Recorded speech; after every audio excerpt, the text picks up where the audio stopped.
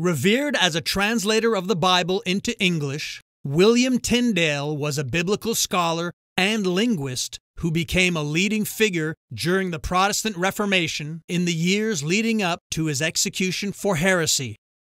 Over 90% of the King James Bible consists of his translated words that later influenced the trajectory of Christianity across the Atlantic in the New World.